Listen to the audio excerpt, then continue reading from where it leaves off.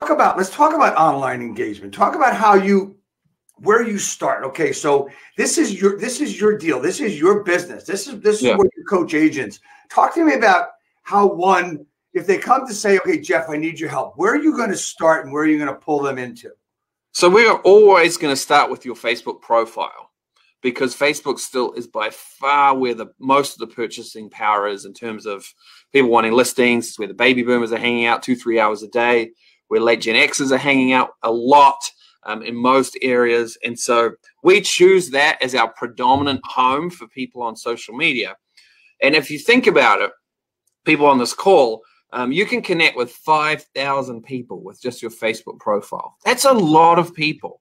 Um, now, the biggest mistake we make is right at the beginning is we haven't decided exactly who we're going to connect with, who our stories are for, which kinds of people we really love, and we have a scarcity mindset that we're not even aware of, uh, where we just connect with everybody who wants us because we feel like that's what we should do, rather than saying, "Damn it, I want to connect with like."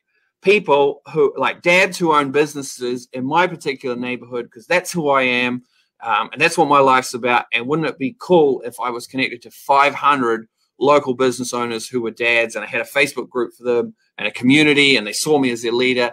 And every single one of those dads, whenever anybody said, I need a real estate professional in everyday life to them, they go, Oh, you got to talk to Dave Finale. Like, you got to talk to him. He's amazing, right?